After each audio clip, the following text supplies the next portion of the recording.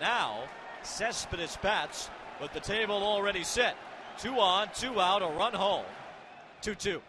Swing and a drive! Left field and deep! Forget about it! Home run! Yoenis Cespedes!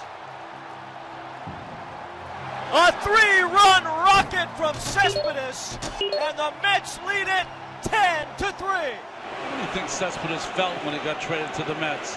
He said, That's where I won the home run derby. I like that ballpark. Cannot wait for the StatCast numbers on that shot. Three for three tonight, two singles, and that three run homer. The Mets lead by seven. No Kershaw, no Greinke, and the Mets have tortured Brett Anderson and Alex Wood tonight.